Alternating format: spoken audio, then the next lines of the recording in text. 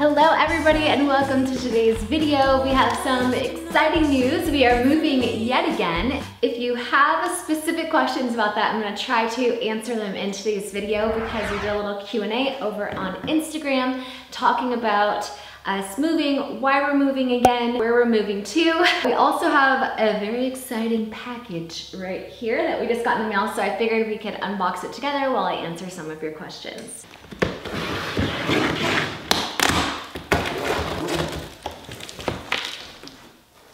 So one of the first questions was, where are you moving to? And we are actually moving back into our RV. We're gonna be tiny living again, um, but we're also gonna be uh, living in our RV full time, but also traveling in our RV full time. There's something fun in this package that is actually for the RV that I'm very excited about.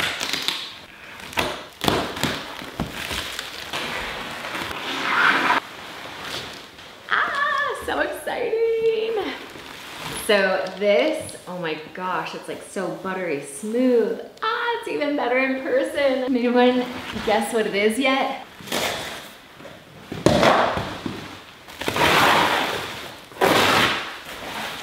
She's beautiful. Oh my god. And the color is like so beautiful. Oh my gosh, I love it. The coolest thing Okay, for one, if you haven't already figured it out, it's this like awesome um, power recliner armchair. Can you guys see that?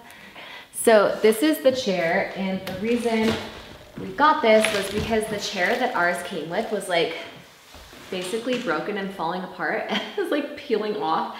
So we ended up getting rid of it in our RV and uh, we saw this and fell in love. So it has like, it reclines, it doesn't take up a lot of space, so it's like perfect for small spaces like the RV. It even has a USB so you could charge your phone in the chair. So nice. Can't wait to show you guys what this looks like. Okay, as I'm getting this out of the box, I'm gonna answer the next question. Jay River says, are you going to travel or stay in, in your RV by the glamping camp? So we're actually gonna be traveling. We're not gonna stay here on the property. Lion says, will you be coming through New Jersey on this round? So excited for this journey. We, we don't know exactly where we're going yet, but we know we're gonna be traveling all over. So um, if we are in New Jersey, definitely like stay tuned because I'd love to like meet up with you guys when we like travel to different areas. Trying to figure out the easiest way to unbox this.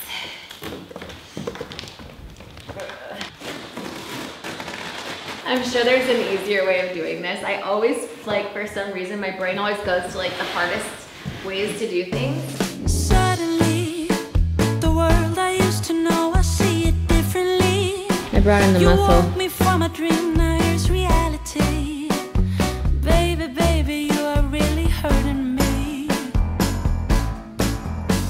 Cause every time... Don't mind my messy game room right now. Okay, next question. Is it hard to find privacy alone time in such a confined environment? That's a really good question, Lindsay. So I think that the best part about living in the RV is that we're outside way more than we would ever be in like a traditional home or house. So, and then we also like go out of our way to give our, to give like Travis and I to give each other like kind of space, but like in our RV, like the door is closed. So like if I wanted to be like alone, I could literally just shut the door to our bedroom. I don't know, our little family, we're always together. We like that, we like each other. And if for some reason we need some space, like we can go for a walk or, you know, one of us can get out and go do something or we just like shut the door. So hopefully that answers your question. Simply Win says, does that mean you won't be moving back to your OG house? Those of you guys that have been following for a while, our uh, house, um, we will not be moving back into because that is a rental right now. And there's a lot of stuff going on behind the scenes um, that there is a reason why we're not going back there. And I, I mentioned it a little bit on Patreon because I don't really like to share too many things that are going on for a lot of reasons, but camera uh, card was full, so I'm back now. So basically what I was saying was, yeah, there's just certain things that like are going on are making it so we're not able to go back there, unfortunately. So basically, hopefully that answers that question. We will not be moving back into that house, unfortunately.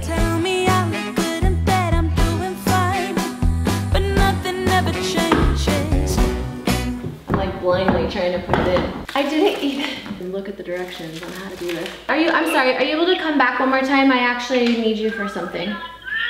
Okay. All right, love you, bye. You see Go how? ahead, you're good. Authentic. Authentic. What do you think? Yeah. Look at this, it's got recliners inside, it's got a USB port and a C port for us to be able to charge our phones and tablets. How cool is that? Now it's a, uh, the only thing it's missing is a wine holder and a beer holder. but I think they can make that as an accessory. Here is a wine holder Yeah. and a beer true. holder right there built in. Yeah. um, awesome. Hey, well, can you, let's plug this bad boy in and test out the recliner section. Okay. Okay. Wow. Oh my gosh, it literally is like buttery smooth. It feels so good. All right, let's see if it works. Wait, is that for me? Oh, it's got a headrest. It's got a head thing too. No freaking way. All right, this is awesome.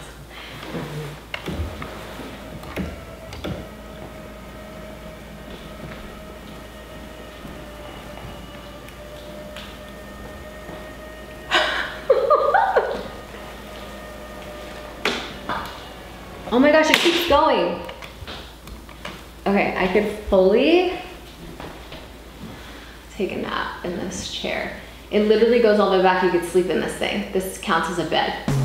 Suddenly, the world I used to know, I see it differently. All right, don't mind my crazy outfit, but I had to show you guys. This is right up against the wall in our RV. This is why this is so perfect for small spaces because we're in the RV and look at this.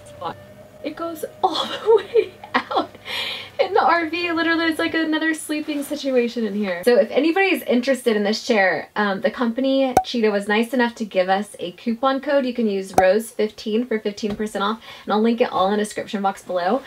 So if you guys are in the market for a faux leather chair, uh, definitely go check out that link below. Also wanted to give a quick shout out to any of my Patreon members watching this video. Here is our latest video. If you haven't watched already, I will link that down below for anyone else that's interested. Okay, so Tabitha is asking, how does this change things for Snow? You said last time it wasn't good for her. So what has changed? I, I believe she's referring to living in the RV and traveling full time. So for those of you guys that don't know, we were traveling in our RV full time before we came here to this cabin.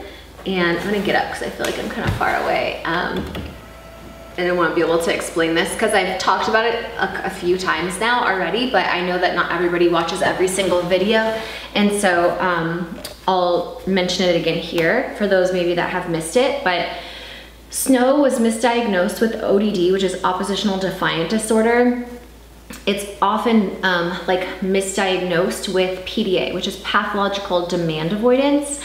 Um, and that is what she has. It's basically where like, it just, I mean, it's, it's, a, it's a neurological brain disorder that she has. And at first, um, when we thought that she had ODD, which is very, it's, it's treated very different than ODD. So for ODD, our psychiatrists and our doctors were like, she needs to be somewhere where she, um, you know, is going to be in the same place every day, where it's like, you know, routine. She goes to the same school, she sees the same kids, you know, instead of traveling all over and like, um, you know, not having like a set routine as far as like going to school, if that makes sense. When we found that out and we first originally got that diagnosis, we came back to California um, from traveling for almost a year and we immediately got her into a school. We bought a house, this cabin. Originally, we were planning on Airbnb being out the cabin and doing the camp, moving back into our old house. But then we came here, we fell in love. We were like, let's just live at the cabin. So then we were planning on living here and then something, a lot of has been going on. Um, financially, we're not able to stay and live in the cabin, so we're going to have to Airbnb the cabin out like we had originally planned. So that's fine, um, but what we learned as soon as we put Snow in school, like the first, I wanna say like week, she loved it. It was so much fun for her. I think she was doing really well. Um, the teachers were saying like, you know, she doesn't really interact with the other kids. She really just wants to talk to the teachers. And I just thought, well, she just needs a little bit more time to like warm up to the kids. And then like the second week, the third week, she started regressing and getting way, way worse than she was before she started the school. And at first I just thought like, she just, you know, like I remember when I was younger and I, I've seen other kids, like they don't like going to school and you kind of just have to like kind of force them, you know, and then they get used to it.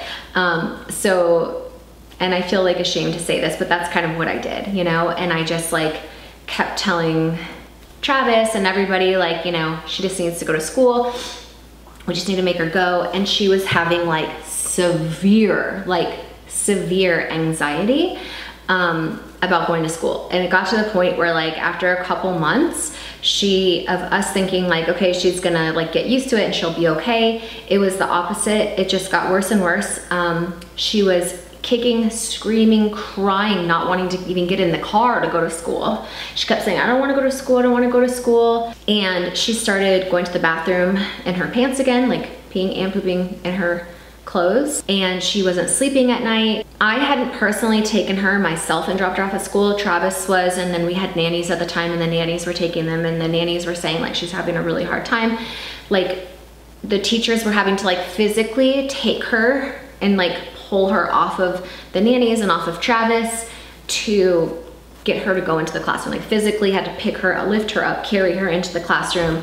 And then I don't really know what was going on in the classroom, although I do know that she was coming home in different clothes because she was soiling her clothes at school, meaning she was not going to the bathroom and she was regressing significantly. Um, this was obviously very difficult to watch um, as a parent and I ended up saying like, you know, maybe it will work if I take her to school. And so, because um, I was working doing online coaching during this time, which is why I wasn't able to take her to school and I had other people helping me because I was working. Um, so I decided to take her myself and I could just see like in her eyes, like for one, she like peed herself because she was so scared and just like so like panicked and like it was just it was awful. She hated going to school. It made her way worse and we realized that she doesn't have oppositional defiant disorder. She actually has pathological demand avoidance and in that demand avoidance she will avoid at all costs doing something that's demanded of her. So if she knows that she has to go to school or she has to do something um, or be somewhere at a certain time. It gives her severe anxiety, um, so much so to where it affected her eating, sleeping, um, going to the bathroom. I mean, like she regressed significantly. She wasn't communicating with us. Like it, it just was really bad. So after talking to many doctors, uh, we realized that her diagnosis was wrong and that she actually does not do well in a school setting with other kids. Um, now this is not the case for every kid that has PDA, but this is the case for Snow. And after talking to her doctors and realizing this, um, she actually does not thrive in routine like somebody with ODD would. So we have to treat Snow very differently um, or she gets really bad anxiety, she won't eat, she won't sleep, um, she just gets really uh, dysregulated, her uh, emotional system, whatever. I don't know, it's a neurological thing. She can't control it. So we didn't know this until we put her in school and put her in routine and we're doing the same things every day and we realized like she does not do well with that at all. So um, I hope that that answers your question. I know it's a little long-winded, but it's a lot to explain and it's hard for people to understand that don't have kids with special needs um, because a lot of special needs kids do need routine um, and that is very helpful for them and a lot of special needs kids go to special schools for them. Um, I was in a special school, I had an IEP, so I'm very familiar with that. Um, and for people that are watching this that don't know what an IEP is, it's an individualized educational program for kids with special needs. Um, I had uh, special needs growing up with uh, learning disabilities and um, ADHD, which I didn't know that I even had then. I was also misdiagnosed um, with bipolar disorder, which we now know I do not have that. Um, I have a lot of other things, but not that. And so it could be very detrimental to kids that have mental health issues, that struggle with special needs when um, we push or force certain things on them that we think uh, is going to be good for them, but we really have to listen to them and see how they're reacting to that situation and realizing that that's not good for them. So, to answer your question, I think it's going to be actually a lot better for Snow to be in the snowmobile because we call our RV the snowmobile because we do stay places for like a week at a time and then we get to go to a new place and we do something called road schooling or like homeschooling where like um, if you were kids and you were learning about something in a book uh, you act, it's like having field trips every day right? She gets to visit the actual places that we're reading about and learning about in the books so she's only four years old. She's not even legally school aged yet um, to be going to school and have a curriculum. So this might change in the future uh, you know, and if and when it does and she wants to go to school or she does well in a school setting, then we will reevaluate things. But with our family, things are always very up in the air. Things change a lot because she'll go through certain things and then she'll change. And so we never really know what our day is gonna be like, how things are gonna go. We've noticed even with the nannies, she was having a lot of hard time uh, with the nannies. They're, we've been doing a lot of different things, medication, like all kinds of stuff, and some things are working, some things don't. She is very interested in wanting to go in the RV. She says like, when are we gonna go in the snowmobile? I wanna sleep in my bunk bed. Like she's very excited for it. I think the kids will have fun. If at any point it's not fun for them or we notice that it's not a good thing for our kids, um, we will change that and then switch things up. But for now, I think that that's what's gonna be best for everybody. And so that's what we're gonna do. Um, Kathy says, how will this affect Snow's progress? Again, I think that this is going to actually um, help with her progress because going to school and having a routine and being in the same place did not help her. We've noticed that by actually doing it, putting it into place and realizing that that's not an environment that she thrives in. She does not like routine. It gives her severe anxiety. And so even like waking up, brushing your teeth, putting your clothes on, certain things, like we can't tell her to do that kind of stuff because again, it will affect her really negatively. And I know it's really hard to understand to people that have never dealt with someone with Before, especially with kids. It's almost like you do the opposite of everything you've been taught to like discipline and parent children. We have to like unlearn all of that and do things very differently with her. Yeah, I think that it'll be a good thing if for any point in time it's not, we will change what we're doing. Mrs. Nikki says, do you notice a difference in the kids' behavior in the house versus on the road? Yes. I do. I feel like the kids get a lot more of our attention in the RV than they do in the house. To do a lot more things with them, we get to travel and see a lot more places instead of just the same place all the time or the same playground all the time. So I think the kids really like that um, variety. Did you find a way so Snow is okay with living in the RV? If yes, what? Love y'all. Thank you. A lot of Snow questions. And it makes sense because, you know, we gave up kind of RV life for Snow so that she could go to school and be in one place and give her that routine that we thought she really needed. But like I said, we quickly realized after, you know, six months or however long it was in school that she was just really not doing well at all. And her psychiatrist is actually the one that suggested we pull her out of school and homeschool her and see how that went. And that went a lot better. That's just gonna kind of be what we're doing right now is whatever works for her. And if anything changes, which I'm sure it will, then we adjust as you know, we go. And that's kind of how we've been doing things. So yeah, I think our plan is to uh, move back into the snowmobile and then we're going to go stay at my sister's for a while and be somewhere where she's familiar and then kind of see how she goes. So we're gonna be taking it easy and slow at the very beginning with traveling. We're gonna stay like put kind of like at a family member's house for a while and then kind of see how she does and then, you know, go from there. And also, like, just so everybody knows, some people forget, like, we've been doing YouTube and filming our lives like way before we had kids. I've been doing this for 10 years. I've always kind of documented and done daily vlogs, or not daily vlogs, sorry, but like vlogged. I think that if anyone's watched our, our story, you know, we had to do IVF. We had a really hard time getting pregnant. It took us four years and a lot of like loss and heartbreak and infertility and I literally spent every penny I had um, on IVF treatments in order to have my kids and my whole world revolves around them and everything I do, I do for them. I just want anybody watching this to know that we would never put her or her brother in a position that wasn't the very best for them. All I want is for my kids to have the best life possible.